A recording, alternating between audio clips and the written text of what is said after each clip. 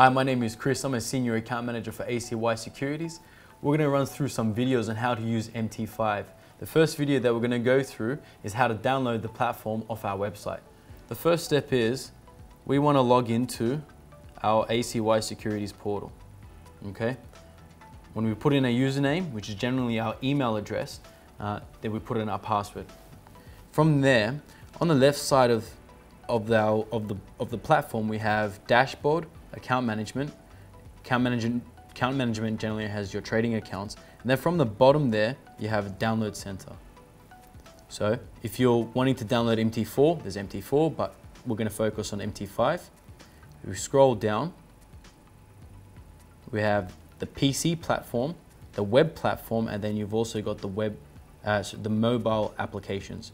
So for today, we're gonna look at the PC platform.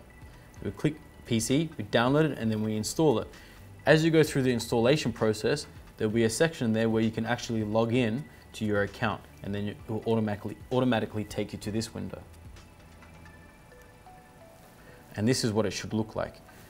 Generally, it will pop up and you have the full screens, normally euro, dollar, Swiss, pound, and yen. And from there, you'll know you've been successfully logged in if your trade account comes up and shows you, shows you your balance on the left. Otherwise, it will show you an invalid account on the right side. And if it is, you just click on invalid account, all the numbers and click login. Put your login number and your password and then your server. This is just a demo account, but then you click your server and you click OK and it will log you in. That's pretty much how you download and sign into MT5. Thank you for your time today.